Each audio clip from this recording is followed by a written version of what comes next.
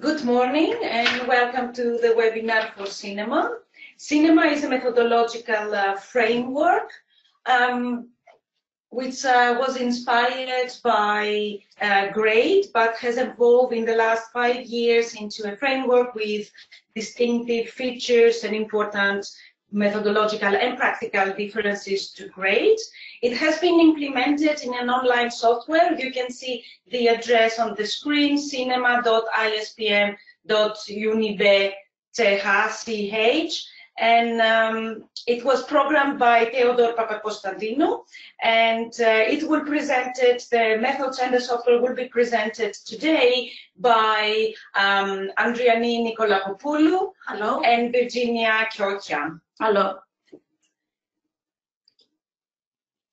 So CINeMA comprises uh, six uh, domains within study bias, reporting bias, indirectness, imprecision, heterogeneity, incoherence. And finally, the six domains are summarized in a confidence rating uh, from high, moderate, low, and very low, quite similarly to the four domain, to the four judgments in uh, GRADE. Um, on the left-hand side of the final table, you can see the pairwise comparisons, the number of studies, and the judgments for each domain.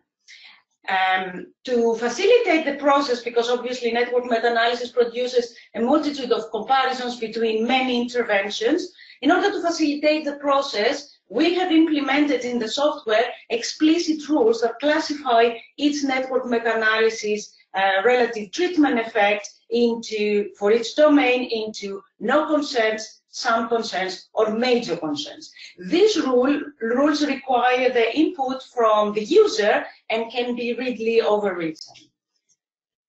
The methods and the software will be exemplified and explained using uh, a particular example from a network meta-analysis published quite long ago, um, and it's about uh, treatments, uh, antihypertensive treatments and the incidence of diabetes mellitus, and Virginia will explain the methods.